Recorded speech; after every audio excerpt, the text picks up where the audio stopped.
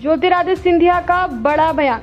जीतू पटवारी के इमरती देवी को लेकर दिए गए विवादित बयान पर सिंधिया ने कहा कि इतना घटिया बयान कांग्रेस के प्रदेश अध्यक्ष द्वारा उनकी मानसिकता को दिखाता है। कांग्रेस के प्रदेश अध्यक्ष की महिलाओं के प्रति और कांग्रेस पार्टी की महिलाओं के प्रति जो मानसिकता है, वो गिर चुकी है। इसका जवाब कांग्रेस को सारे प्रदेश की महिलाएँ आने वाले दिनों में देंगी।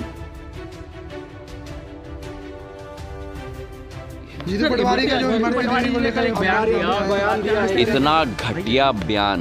भैया पीछे करो नीचे करो थोड़ा यहाँ कांग्रेस के प्रदेश अध्यक्ष के द्वारा ये मानसिकता दिखाती है।